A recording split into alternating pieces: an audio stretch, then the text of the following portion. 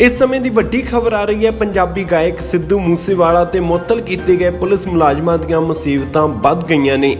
ਸੰਗਰੂਰ ਤੇ ਬਰਨਾਲਾ ਪੁਲਿਸ ਨੇ ਮੂਸੇਵਾਲਾ ਤੇ ਪੰਜ ਪੁਲਿਸ ਮੁਲਾਜ਼ਮਾਂ ਖਿਲਾਫ ਦਰਜ ਦੋਵਾਂ ਐਫ ਆਈ ਆਰਜ਼ ਵਿੱਚ ਆਰਮਜ਼ ਐਕਟ ਦੀ ਧਾਰਾ 25 ਤੇ 30 ਸ਼ਾਮਿਲ ਕਰ ਦਿੱਤੀ ਹੈ। ਇੱਕ ਇੰਸਪੈਕਟਰ, ਦੋ ਹੈੱਡ ਕਾਂਸਟੇਬਲ, ਦੋ ਕਾਂਸਟੇਬਲ ਤੇ ਤਿੰਨ ਹੋਰਾਂ ਖਿਲਾਫ ਕੇਸ ਦਰਜ ਕੀਤਾ ਗਿਆ ਹੈ। ਇਸ ਸਭ ਤੋਂ ਬਾਅਦ ਸਿੱਧੂ ਮੂਸੇਵਾਲਾ ਤੇ ਹੋਰ ਪੁਲਿਸ ਮੁਲਾਜ਼ਮਾਂ ਦੀਆਂ ਮੁਸੀਬਤਾਂ ਵੱਧਦੀਆਂ ਨਜ਼ਰ ਆ ਰਹੀਆਂ ਨੇ। ਤੁਹਾਨੂੰ ਦੱਸਦੀ ਕਿ ਇਹਨਾਂ ਸਭ ਦੇ ਖਿਲਾਫ ਐਕਸ਼ਨ ਉਦੋਂ ਲਿਆ ਗਿਆ ਜਦੋਂ ਬਰਨਾਲਾ ਪੁਲਿਸ ਵੱਲੋਂ ਗਾਇਕ ਸਿੱਧੂ ਮੂਸੇਵਾਲਾ ਉੱਤੇ ਇੱਕ ਅਪਰਾਧਿਕ ਕੇਸ ਦਰਜ ਕੀਤਾ ਗਿਆ।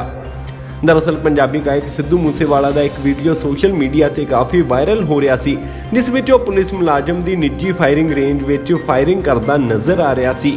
ਉਸ ਦਾ ਇਹ ਵੀਡੀਓ ਸੋਸ਼ਲ ਮੀਡੀਆ ਤੇ ਵਾਇਰਲ ਹੋਣ ਤੋਂ ਬਾਅਦ ਸਾਰੇ ਮਾਮਲੇ ਨੇ ਜ਼ੋਰ ਫੜਿਆ ਸੀ। ਜਿਸ ਤੋਂ ਬਾਅਦ ਤੁਰੰਤ ਕਾਰਵਾਈ ਵਿੱਚ ਆਉਂਦਿਆਂ ਸੰਗਰੂਰ ਤੇ ਬਰਨਾਲਾ ਦੀ ਪੁਲਿਸ ਨੇ ਸਿੱਧੂ ਮੂਸੇਵਾਲਾ ਤੇ ਹੋਰ ਪੁਲਿਸ ਮੁਲਾਜ਼ਮਾਂ ਦੇ ਖਿਲਾਫ ਕਾਰਵਾਈ ਕੀਤੀ ਸੀ।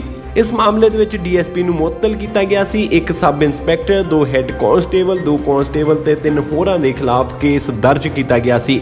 ਪਰ ਇਸ ਵਕਤ ਦੀ ਜੋ ਵੱਡੀ ਖਬਰ ਆ ਰਹੀ ਹੈ, ਉਹ ਇਹ ਹੈ ਕਿ ਦੋਵਾਂ ਐਫ ਆਈ ਆਰਸ ਦੇ ਵਿੱਚ ਆਰਮਜ਼ ਐਕਟ ਦੀ ਧਾਰਾ 25 ਤੇ 30 ਸ਼ਾਮਿਲ ਕਰ ਦਿੱਤੀ ਗਈ ਹੈ।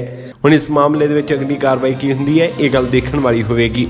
ਫਿਲਹਾਲ ਦੇ ਲਈ ਇਸ ਵੀਡੀਓ ਦੇ ਵਿੱਚ ਨਹੀਂ ਹੋਰ ਵੱਡੀਆਂ ਜਾਣਕਾਰੀਆਂ ਦੇ ਲਈ ਸਾਡੇ ਚੈਨਲ ਨੂੰ ਸਬਸਕ੍ਰਾਈਬ ਕਰ ਲਓ।